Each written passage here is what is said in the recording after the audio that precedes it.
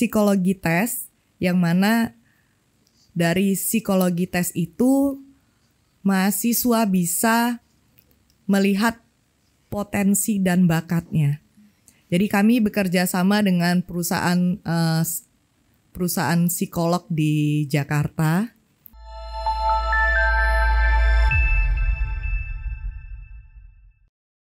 Assalamualaikum warahmatullahi wabarakatuh. Kembali lagi dalam acara UE Metro Podcast, podcastnya UE Metro. Kali ini bersama saya, Sofia Filia, yang akan memadu acara pada hari ini.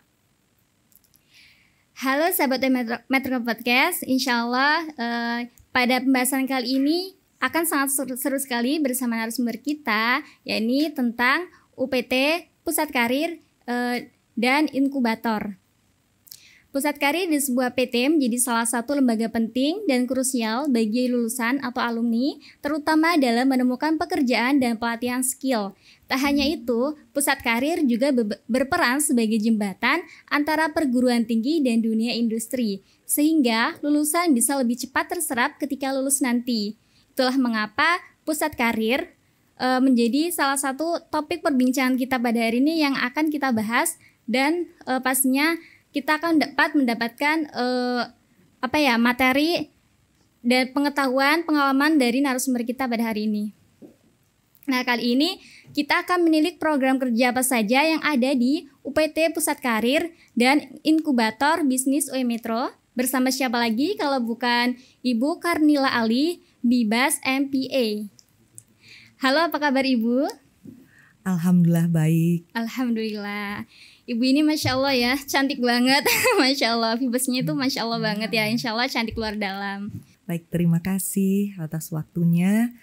Eh, nama saya Karnila Ali. Saat ini saya diamanahkan untuk uh, membawahi unit uh, pusat karir dan inkubator bisnis di Universitas Muhammadiyah Metro. Masya Allah. Jadi beliau ini uh, di bagian unit ya Bu, yeah. Iya. uh, di pusat karir dan inkubator bisnis UE Metro, masya Allah.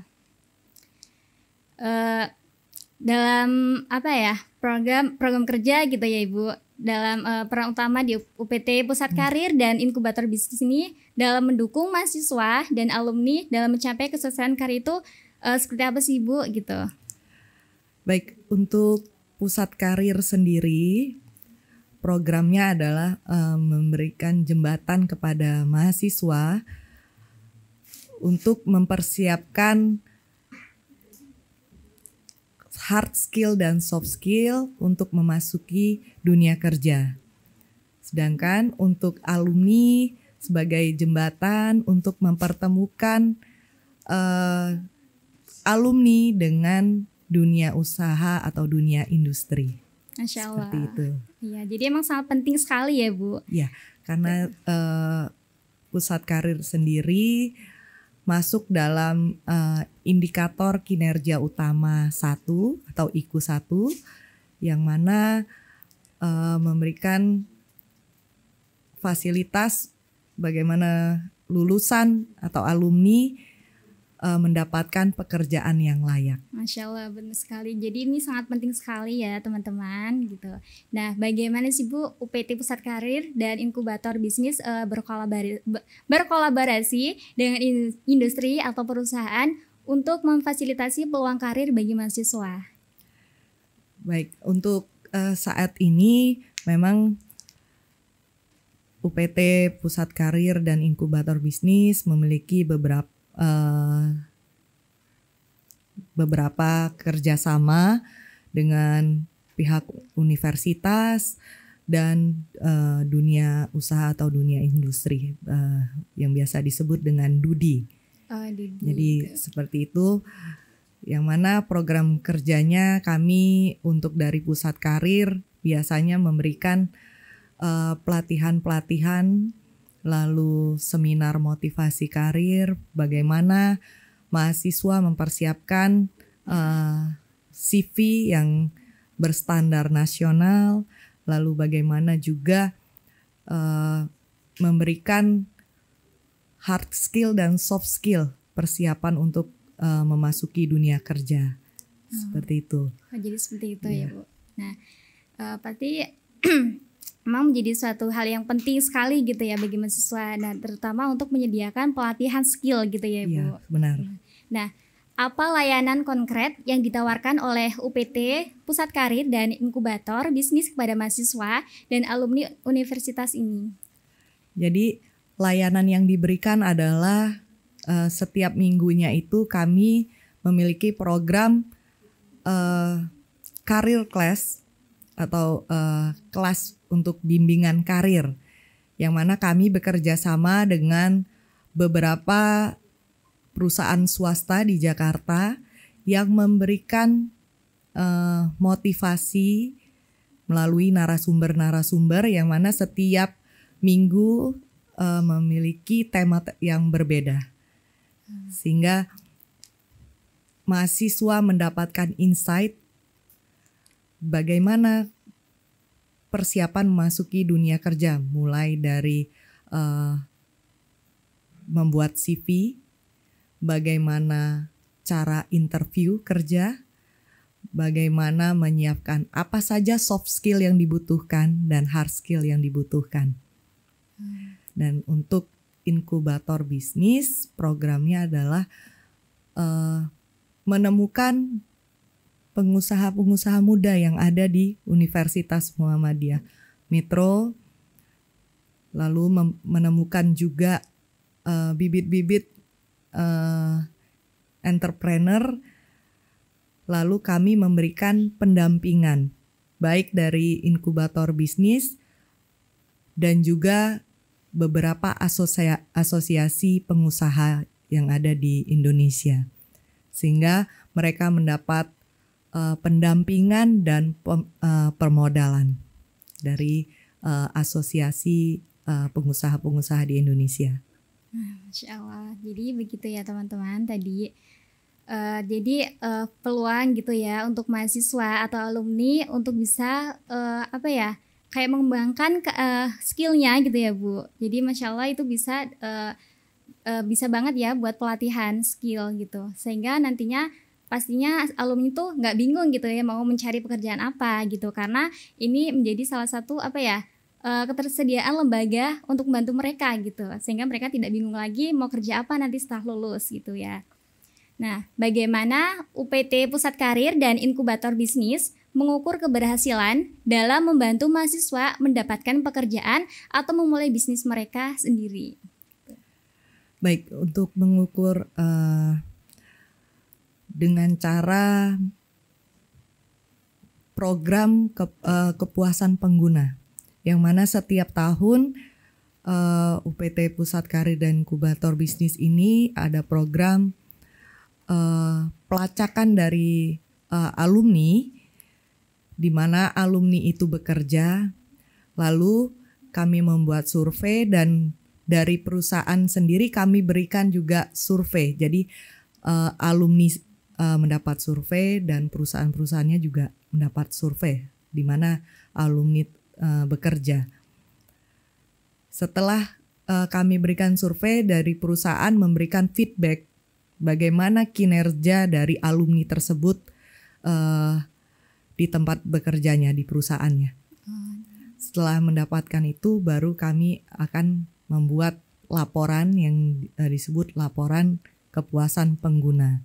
Dari situlah tolak ukur bagaimana uh, mempersiapkan uh, mahasiswa agar setelah lulus bisa uh, memiliki kompetensi yang dibutuhkan oleh uh, dunia usaha dan dunia industri.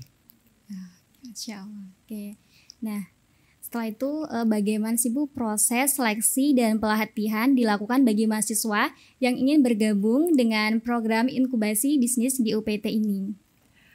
Baik, untuk uh, seleksi yang biasa program kami ini kami sebut uh, tenan inkubator bisnis yang mana setiap tahunnya kami buka uh, rekrutmen yang pertama itu melalui sosial media. Lalu setelah sosial media kami juga memberikan uh, sosialisasi kepada kepala program studi yang mana uh, mahasiswanya didelegasikan ke unit inkubator bisnis dan uh, mendaftar mendaftarkan usahanya untuk uh, diberikan pendampingan. Jadi dari seleksi kami uh, ambil untuk uh, diberikan pendampingan dan permodalan. Jadi selama satu tahun usahanya kami uh, dampingi. Jadi setiap tahun tenan-tenan inkubator ini uh, bergantian. Jadi mungkin kalau yang tahun 2023 sudah dibina lalu tahun 2024 itu baru baru tenannya. Jadi harus ada seleksi dulu gitu seleksi ya Bu. dulu, iya. Nah, kemudian eh, apa langkah-langkah yang diambil oleh UPT Pusat Karir dan inkubator bisnis untuk memfasilitasi kewirausahaan di antara mahasiswa dan alumni? Jadi kami ada uh, kerjasama dengan asosiasi uh, pengusaha-pengusaha dan juga uh, mereka memberikan pendampingan. Sebelum pendampingan itu seperti uh, seleksinya kami bersama. Jadi mana kira-kira uh, usaha mahasiswa yang kira-kira layak untuk kami kembangkan.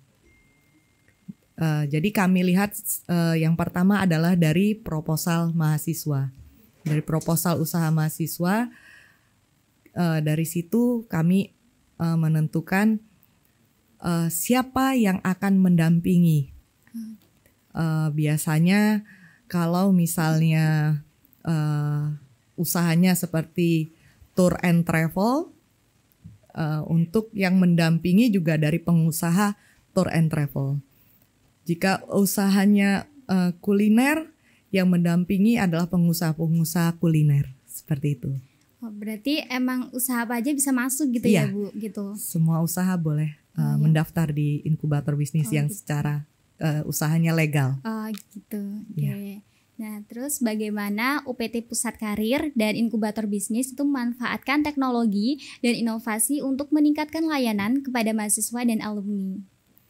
Baik kalau untuk uh, layanan dan teknologi kami bekerja sama dengan perusahaan-perusahaan di Jakarta membuat website uh, pencarian lowongan kerja.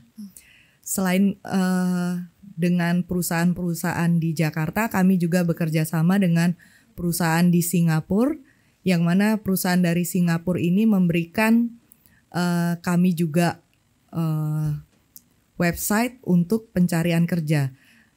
Jadi secara uh, lowongan kerjanya skala untuk nasional dan internasional. Jadi tinggal mahasiswa atau alumni bisa memilih mereka mau bekerja di Indonesia atau mau bekerja di Singapura. Singapura. Nah, apa aja sebut strategi yang digunakan oleh UPT ini untuk membangun jaringan yang kuat dengan uh, pemangku kepentingan uh, eksternal seperti perusahaan dan lembaga keuangan? Kami uh, bekerja sama dengan perusahaan-perusahaan yang mana dari bidang perbankan, lalu di perusahaan uh, nasional dan juga kami juga uh, memiliki kerjasama dengan BUMN yang mana kerjasama kami ini biasanya mulai dari magang bisa magang uh, merdeka dan juga uh, bisa untuk uh, proses rekrutmen. Jadi pada saat perusahaan memerlukan SDM itu biasanya uh, menghubungi saya untuk uh, melakukan proses seleksi di UM Metro. Jadi beberapa perbankan uh, membuka rekrutmen di Universitas Muhammadiyah Metro yang mana dihadiri oleh mahasiswa dan uh, alumni. Kebetulan beberapa mahasiswa yang sudah lulus itu uh, mahasiswa tingkat akhir dan sudah memiliki Keahlian. surat, Oh, keterangan lulus Oh, SKL. surat lulus, iya. Nah, itu tadi ya teman-teman. Nah, kemudian eh, bagaimana sih UPT Pusat Karir dan Inkubator Bisnis itu membantu mahasiswa dan alumni untuk mengidentifikasi mengidentifikasi peluang karir yang sesuai dengan minat, keahlian, dan latar belakang. Baik, untuk mendeteksi minatnya kami ada program eh, psikologi tes yang mana dari psikologi tes itu mahasiswa bisa melihat potensi dan bakatnya. Jadi kami bekerja sama dengan perusahaan eh, perusahaan psikolog di Jakarta yang mana mahasiswa bisa mengikuti tes psikologi online itu secara gratis dan langsung bisa mendapatkan hasilnya. Untuk hasilnya bisa diambil di eh, ruangan pusat karir yang mana eh, biasanya saya eh, umumkan satu minggu setelah eh, tesnya. Tes. Ya. Jadi mahasiswa bisa melihat potensinya, bakatnya, bagaimana gaya kerjanya, berapa IQ-nya itu dari eh, psikologi tes. Lalu juga kami ada eh, seminar karir dan ada kelas karir yang mana setiap minggu itu banyak eh, tema-tema yang diberikan dan mahasiswa bebas memilih. Eh, memang bimbingan karirnya secara online karena perusahaannya ada di Jakarta. Jadi mahasiswa bebas bertanya dan mendapatkan materi-materi untuk persiapan masuk ke dunia kerja.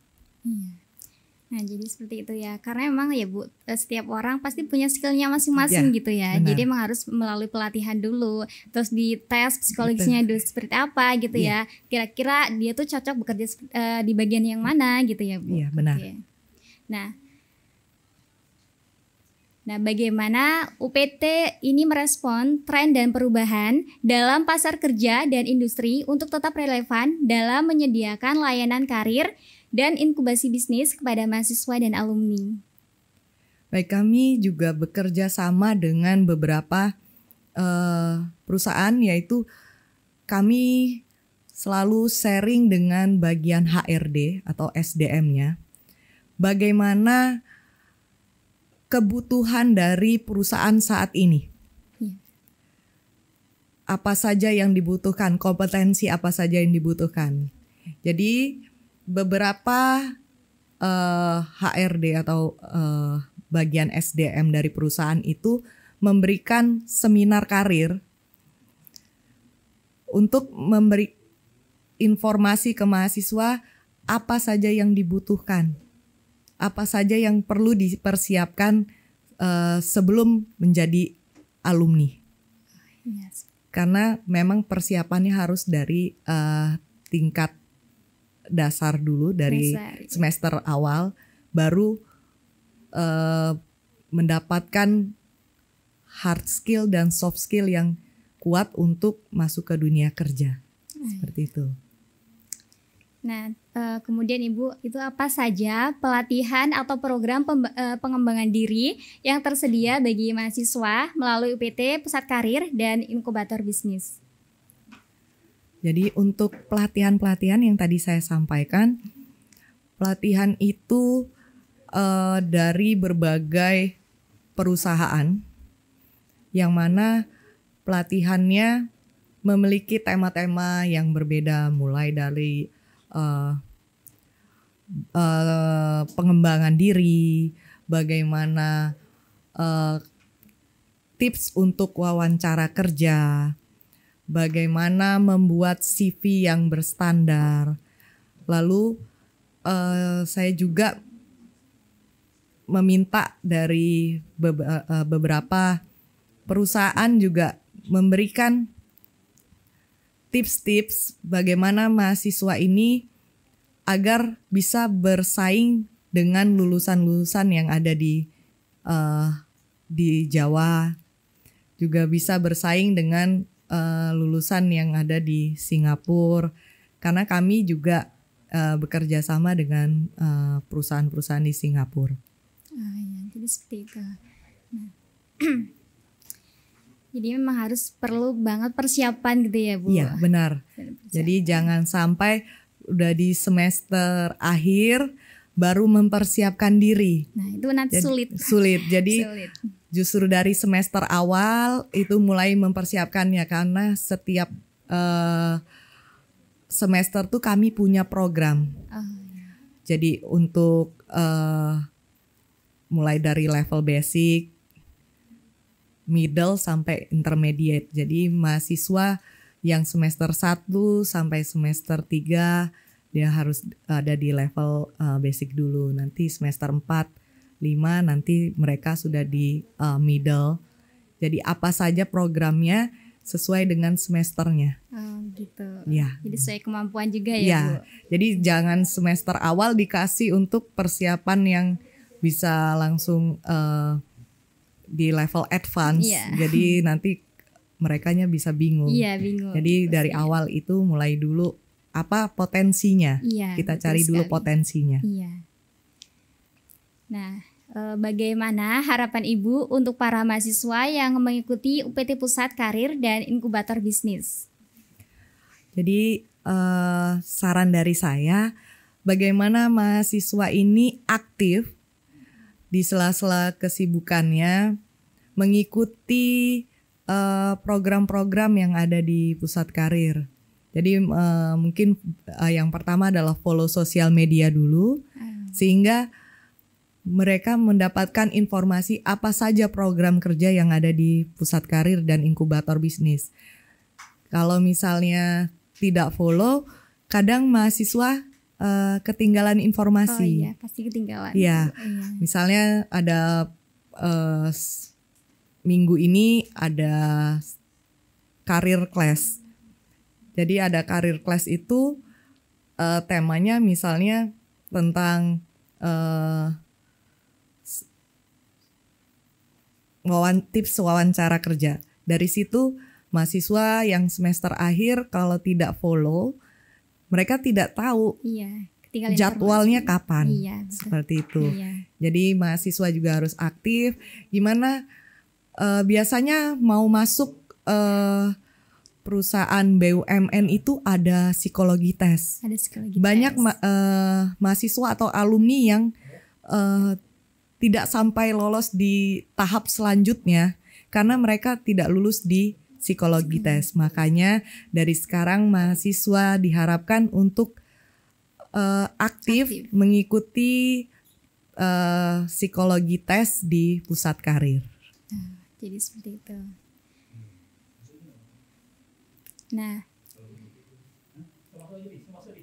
Baik Sivika Metro, uh, Metro itu tadi ya bincang-bincang kita bersama narasumber kita. Jadi kesimpulannya uh, Pusat Karir ini menjadi salah satu lembaga layanan uh, para mahasiswa alumni gitu ya agar bisa uh, mengembangkan skillnya gitu. Jadi ini benar-benar layanan para alumni gitu ya untuk uh, mereka uh, para alumni gitu ya bisa mendapatkan pekerjaan yang layak sesuai kemampuannya, sesuai skillnya gitu. Nah, jadi uh, sampai jumpa pada kesempatan lain dengan topik-topik yang berbeda. Saya Selfie Evilia, pamit undur diri. Sampai jumpa di UM Metro Podcast, podcastnya UM Metro. Wassalamualaikum warahmatullahi wabarakatuh. Waalaikumsalam warahmatullahi wabarakatuh.